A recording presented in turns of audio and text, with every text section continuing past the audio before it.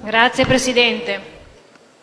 Il 12 ottobre Evrin Khalaf è stata uccisa. Aveva 35 anni quando è morta. Ingegnere civile, è stata una politica curda con cittadinanza siriana. Si batteva per i diritti delle donne nella regione e per la coesistenza pacifica tra curdi, cristiano-siriaci e arabi. La sua morte non ha ancora mandanti certi. Quel che è certo che è morta in un agguato ad opera di un branco di 12 uomini in divisa che hanno fatto scempio del suo corpo e che forse prima di ucciderla l'hanno stuprata. Evrin era nota per le sue capacità diplomatiche riconosciute a livello internazionale. Il dialogo e l'emancipazione delle donne in Siria erano rappresentate dal suo volto. Proprio per questo era ritenuta una pericolosa miscredente. Onorare la vittima di una donna che è morta perché credeva nei diritti delle donne e dei deboli fra i più deboli non ha bisogno di parole ma di azioni concrete. Difendere quei diritti significa difendere i diritti di tutti.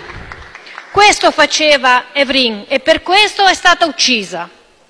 Questo accade ad un passo da noi e se noi oggi accettiamo tutta questa barbarie rimanendo indifferenti viene da chiederci a che cosa serve l'Europa.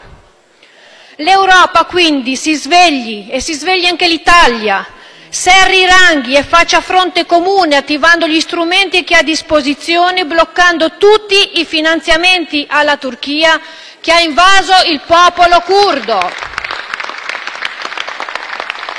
Alla luce di un gesto puramente colonialista che odora di sangue e piombo, oggi ancora più evidente che la Turchia non può entrare, non deve entrare in Europa.